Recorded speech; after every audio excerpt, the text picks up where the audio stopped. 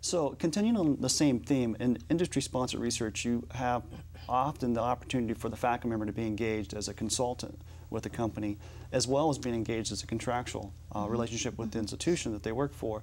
And sometimes those two lines are very blurred, and, and we in the central office don't always get to see that. We can't always get the focus uh, clear. What's the difference between the two? A, a faculty who is invited to be a consultant is usually someone who's sought after for their special advice, their special, their expertise in a particular area.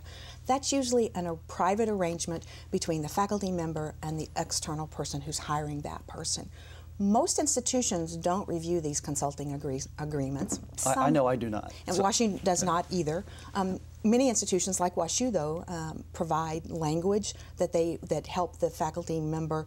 Uh, as part of their negotiations, distinguish between their relationship as an employee of the university and their consulting activity. Um, I always advise our faculty to seek their own legal advice or before they sign those consulting agreements to make sure that their rights are well protected. Yeah, and generally the faculty members are working with the department heads, right, on the consulting, uh, re- at least that they're disclosing that they're having that relationship with that company. That's right. Most institutions have clearly defined consulting policies that explain when a faculty member can become a consultant, how much time they can spend on that, and usually there has to be some communication with the department head or their school dean, depending on how they're structured, to assure that that consulting arrangement is okay. Yeah. On the contracting side, there's, that's a different um, scenario. That's usually an, uh, an arrangement between a sponsor and the institution, um, where the faculty is probably going to provide a scope of work, help deliver the deliverables, perhaps be accountable for the finances and the oversight.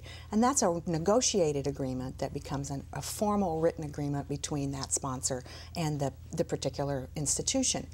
Usually, uh, at least in our case, our sponsored research office is signing those contracts, and we always suggest to faculty don't sign anything with the university name attached to it unless Right. you seek advice from your um, institution, so that they we all know together as a partner what the what we are committing both the faculty member to do as well as the institution. So a faculty member will sign a consultant agreement as a, an a- a independent contractor consultant. Right. But you're not going to see the institutional signature on that. In the same vein, on a contract, the institution will sign, but the faculty member would rarely sign a contract. That's right. So, That's okay, right. That's important to note. So that's consistent across the board. We've seen that. So yeah.